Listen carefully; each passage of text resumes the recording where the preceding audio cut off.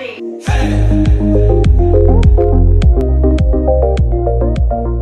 race of startups chasing the billion dollar valuation may get more exciting and exhilarating from here. After Nykaa's Zoomcar may get closer to the unicorn label, it is reportedly in talks with Mahindra to raise around $500 million. Touted as India's most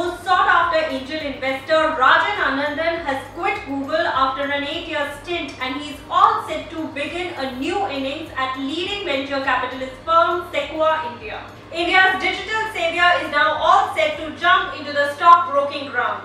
Surprised? Well, Paytm has received approval from market regulator SEBI to start providing stock broking services. Indian startups now have an opportunity to scale. US-based AngelList has launched an India-focused fund, The Collective, that will reportedly invest 1 crore each in 60 to 80 startups annually.